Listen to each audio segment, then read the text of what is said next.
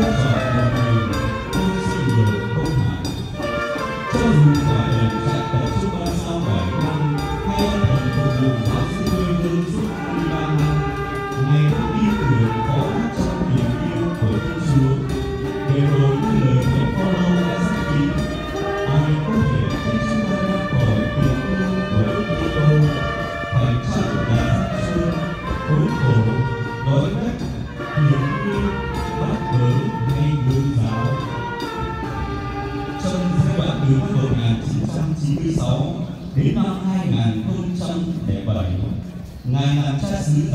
Kim Chính và tan Điền. Sau đó, Ngài được về trên bổ nhiệm làm cha xứ coi sóc giáo xứ Lát Điền cho đến khi về hưu vào năm 2016. Dẫu biết rằng hành trình dân hiến không thiếu gian nan thử thách, song cha cố Vi Sơn vẫn không chủ bước, Ngài tự hiến và quy phục thánh ý Thiên Chúa. Trong niềm tin Kitô giáo, cộng đoàn chúng ta phó thác cha cố Vinh Sơn cho tình yêu và lòng thương xót của Thiên Chúa. Giờ đây, kính mời cộng đoàn hiệp cùng đoàn đồng tế sốt sắng bước vào thánh lễ an táng cầu nguyện cho cha cố du xe để cùng hy tế trên bàn thờ chúng ta hãy cùng nhau tuyên xưng Chúa Kitô phục sinh đấng đã chiến thắng sự chết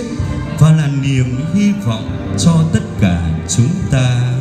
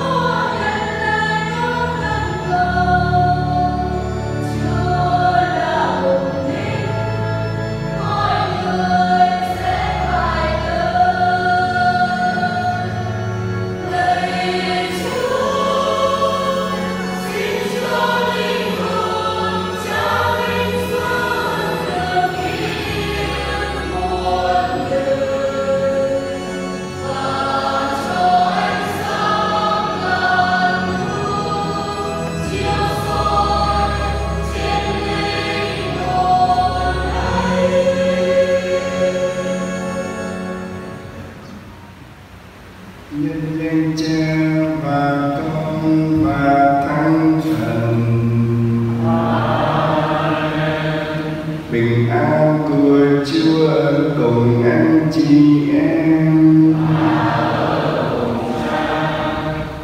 Kính thưa cộng đoàn phục vụ đất thân mến,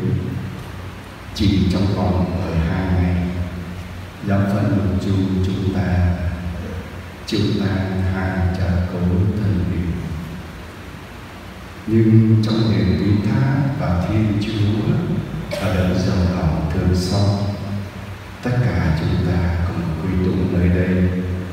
cùng với quý cha trong và ngoài giáo phận, cùng với quý bề trên quý tu sĩ nam nữ cùng với gia đình linh tông huyết tộc, cũng như các đoàn chi mà cha công Vinh Sơn đã phục vụ. Chúng ta hiểu với chính thân xác của cha công Vinh Sơn dâng thi lễ cuối cùng lên Thiên Chúa và nhà thờ Xuân Hoa. Chúng ta cùng với cha công Bình Sơn, tạ ơn Chúa đã cho Ngài hoàn thành tốt đẹp của hành trình dư thế 82 năm qua.